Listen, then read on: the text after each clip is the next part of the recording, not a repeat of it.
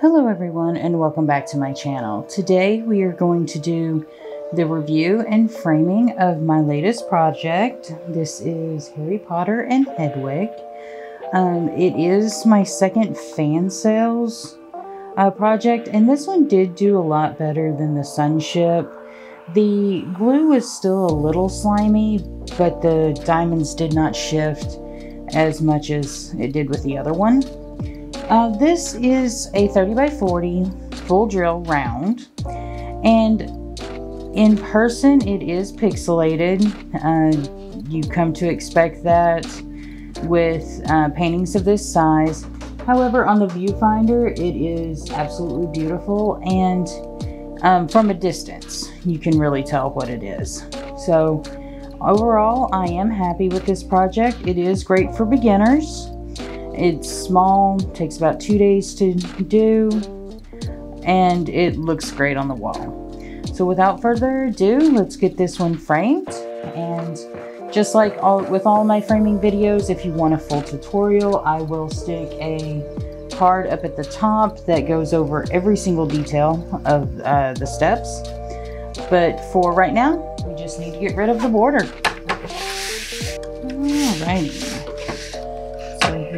Alrighty all cut out.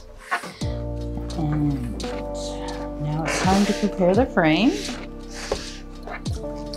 I went a little different with this frame. It's still an Amazon frame. It's just a little distressed.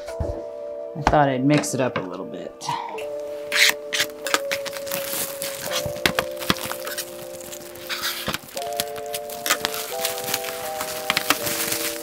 Actually prefer Amazon frames to other places like Walmart or the dollar store.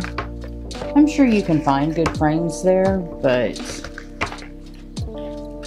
Amazon, they seem to have a little higher quality and you can buy in lots.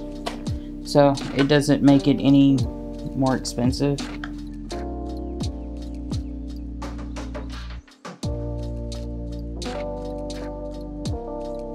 So this one actually comes with a mat, which is nice.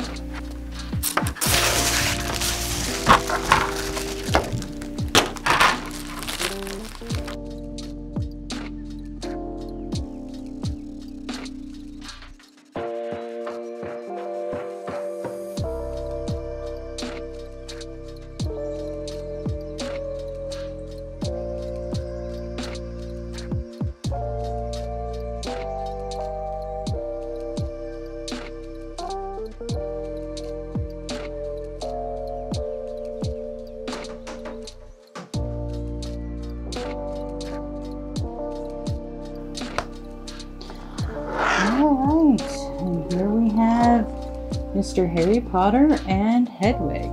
Again, uh, from a distance, this is going to actually look really nice.